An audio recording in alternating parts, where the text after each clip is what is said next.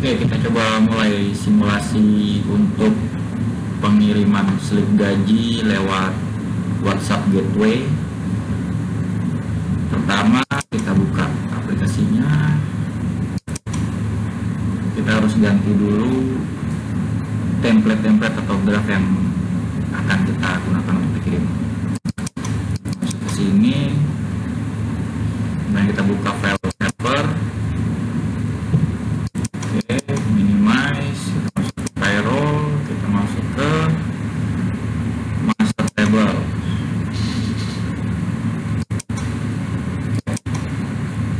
Table ini adalah template yang akan digunakan untuk database di aplikasi WhatsApp Gateway. Jadi ini sudah dipersiapkan template-nya. Jadi tinggal copy paste aja dari file asli rekapitulasi gaji yang akan digunakan. Tinggal menyesuaikan aja. Ini ada satu sampel untuk pengiriman untuk non staff ya.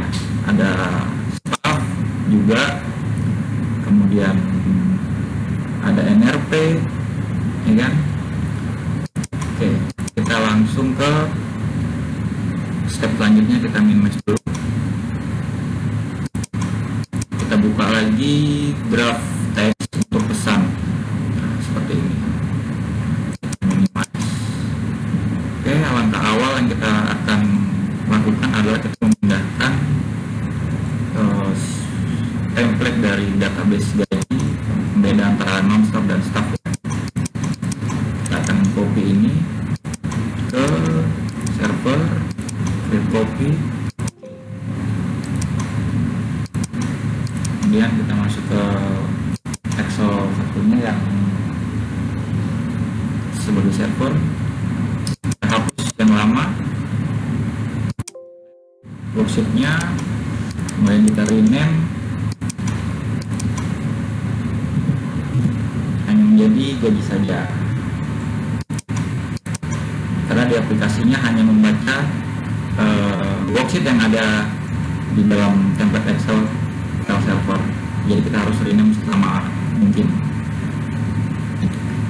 Setelah ini kita save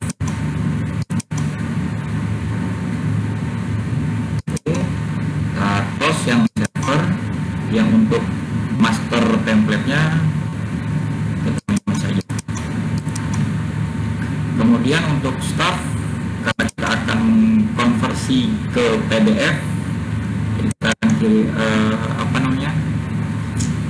Kita akan copy draft template-nya ke LWA dan paste di sini. Di sini ada file gaji kita hapus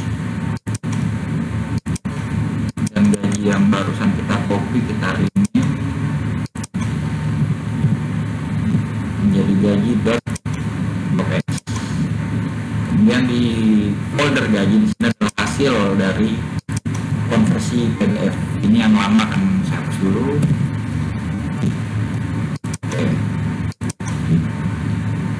Di simulasi ini setelah step yang tadi sudah kita lakukan kita mulai langsung untuk membuka aplikasi WhatsApp Gateway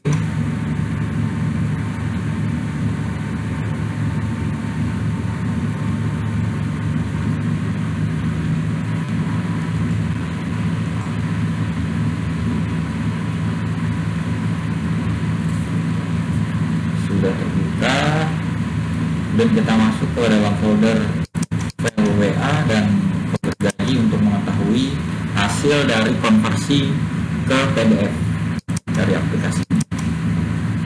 Kita masuk ke cari data otomatis kita masuk ke slip MS atau non staff continue kemudian kita create PDF otomatis dari database gaji yang tadi kita sudah copy ke server. Kita buat PDF otomatis. Oke sudah finish. Sini akan menggenerate. Kemudian kita langsung ke pesan masal untuk mengirimkan slip gaji secara bersamaan untuk banyak user. Sini saya ambil ada dua sampel untuk masuk ke pesan massal kemudian kita masuk ke table gaji kontak WA kita pilih nomor telepon dan sebagai database. Di sini sudah ada eh, data apa saja sih yang mau kita tampilkan di slip gaji yang akan kita kirim.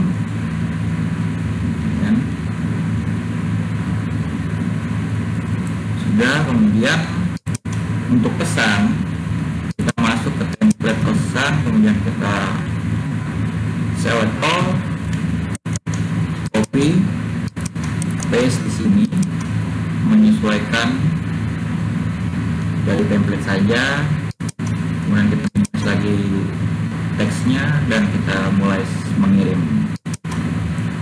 belum kita kirim kita harus menconteng dulu data yang ada di sini. Kita conteng, kita cek apa saja yang mau ditampilkan di dalam pesan, kemudian kita langsung send.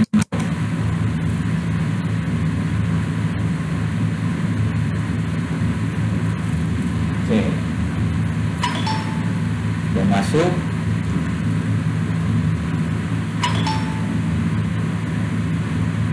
Oke.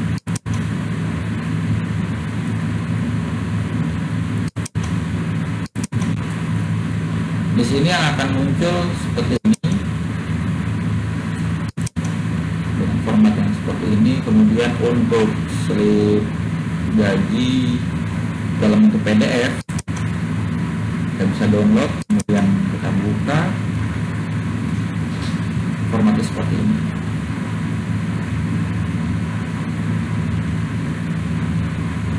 oke kita bisa close untuk yang staff ya ini ya. Perbedaannya adalah LBS strip S artinya staff.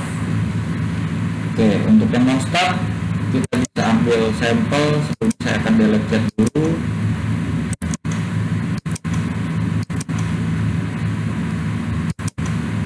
Kemudian kita minimize lagi.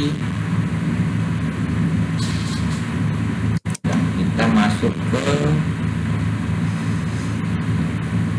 sebelum kita masuk ke WM Gateway lagi kita close dulu aplikasinya. Kita akan mengcopy ulang prosesnya. Server ini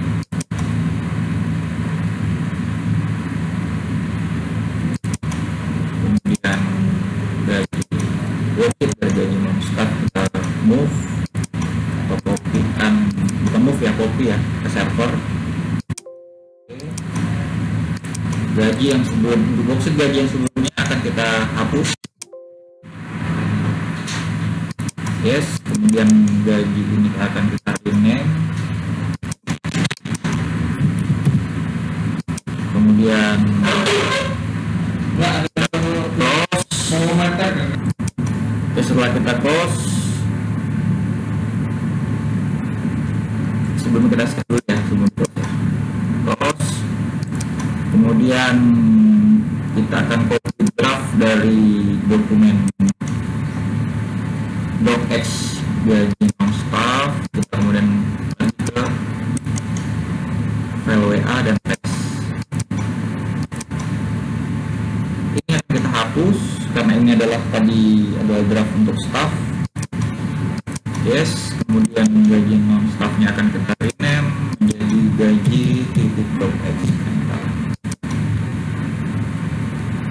di folder gaji itu tidak perlu dihapus karena nanti uh, judulnya akan berubah akan tidak sama bukan berubah akan tidak sama akan menambahkan judul baru. Kemudian kita masuk ke aplikasi WA Gateway kita tunggu.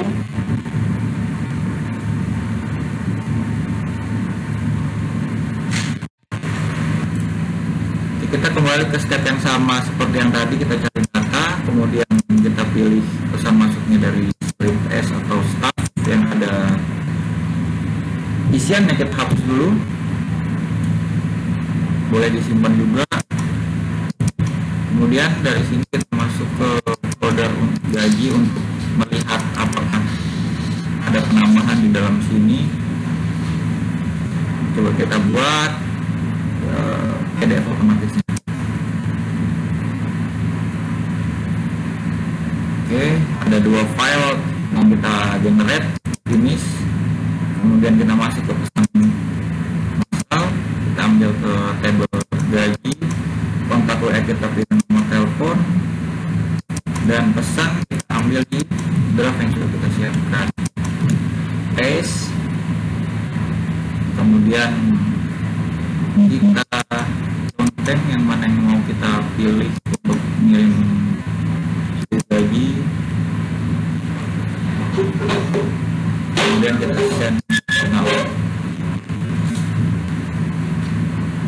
di sini untuk nomor yang belum pernah chat sama sekali itu bisa dipanggil langsung oleh aplikasi.